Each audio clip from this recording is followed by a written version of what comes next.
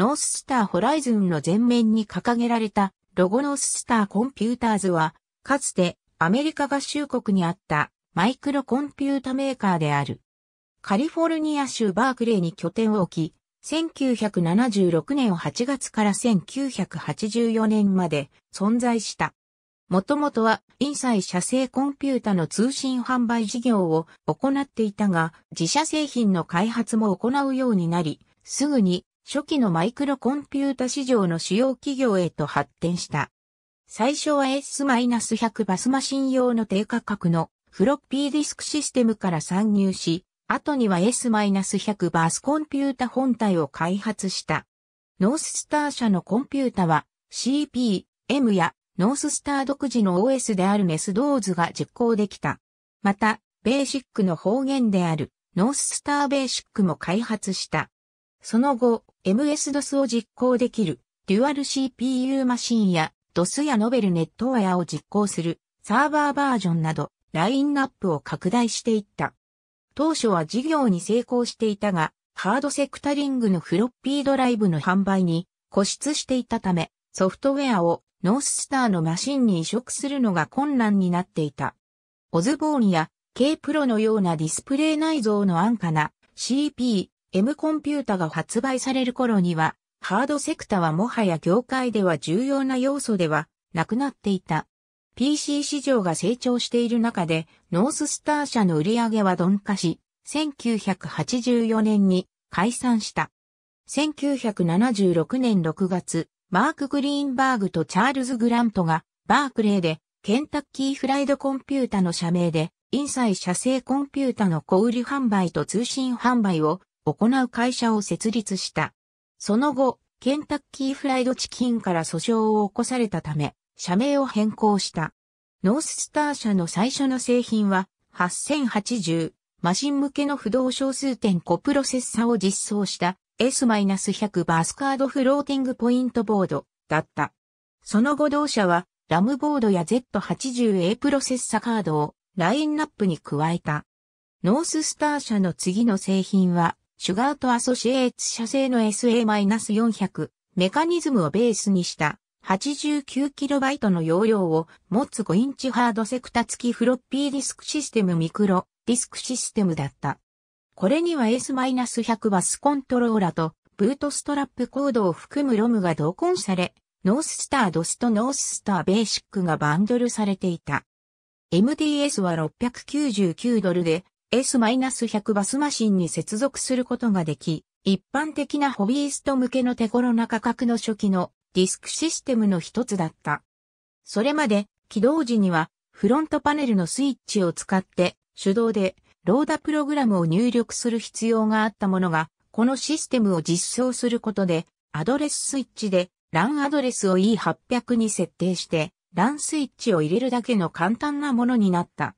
ノーススターは後にディスクドライブを改良し、180KB の倍密度ディスク、その後には 360KB のストレージを持つ両面倍密度ディスクに対応した。しかし、倍密度の製品の発売を事前に告知したところ、それまでの片面単密度モデルの製品は売れなくなってしまい、突然の赤字で同社は倒産しそうになった。これはオズボーン効果が作用した例である。ホライゾンは8ビットの Z80A ベースのコンピュータで通常 16KB から 64KB のラムを搭載していた。片面単密度、または倍密度のハードセクタのフロッピーディスクドライブを1機、または2機を搭載しており、端末やプリンタに接続するためのシリアルインターフェースを備えていた。CP、M、またはノーススター独自のネスドーズが実行できた。また、他のシステムでは別の S-100 カードが必要となる多くのチップをすでにマザーボードに搭載しており、最小限のセットアップで箱から出してすぐに操作できるようになっている。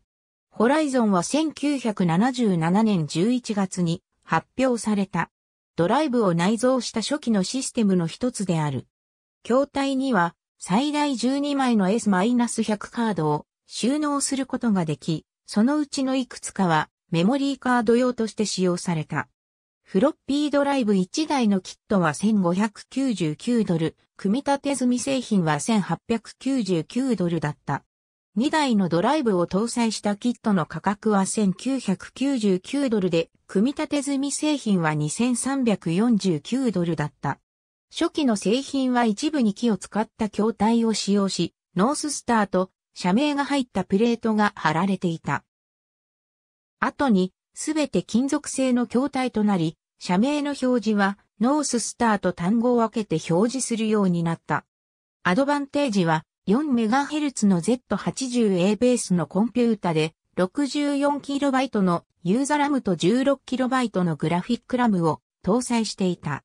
片面倍密度の 180KB のフロッピーディスクドライブ2機とオプションで 5MB のウィンチェスターディスクを使用していた。アドバンテージは640-240のグラフィックス機能を有することで知られており、4つのデモプログラムがバンドルされて販売された。その中にはアーケードゲームのカックスを彷彿とさせる線のパターンをプロットして計算するものがあった。また、アドバンテージには MS-DOS1.0 を動作させる8088コプロセッサボードもオプションで用意されていた。アドバンテージが発売された頃、ノーススター社はオフィス、工場、倉庫をカリフォルニア州サンレアンドロのカタリナ通り14440番地に移転した。ディメンションはサーバ用コンピュータであり、ノーススター社初の完全 IBM PC 互換製品である。サーバは8186チップをベースにして、複数の画面を採用し、各画面はサーバに搭載された IBM PC 互換の8086ベースのスロットカードに接続されていた。画面とキーボードはサーバ内のワークステーションカードに接続されていた。この製品は MS-DOS がインストールされた状態で出荷され、オプションでノベルネットウェアも利用可能でだった。この製品は、ノーススター社のそれ以前の製品のような成功を享受することはできず、ノーススター社最後の製品となった。ありがとうございます。